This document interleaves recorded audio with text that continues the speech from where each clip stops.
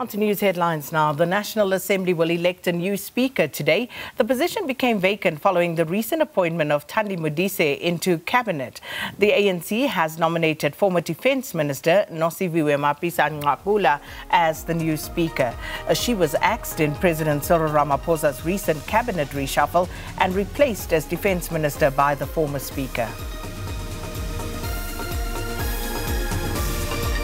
The latest research shows overall vaccine acceptance in South Africa has increased to 72%, which is up from 67% in December. And that's according to a survey conducted by the University of Johannesburg with the Human Sciences Research Council. The survey showed that the acceptance rate for those aged over 55 increased by 11 percentage points to 85%, but declined by 8 percentage points to 55% for the 18 to 24 group.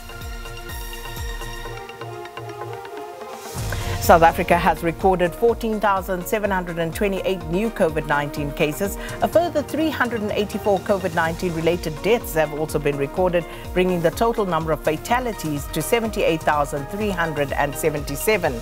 The majority of new cases are from the Western Cape with 27%, followed by KwaZulu Natal with 25%.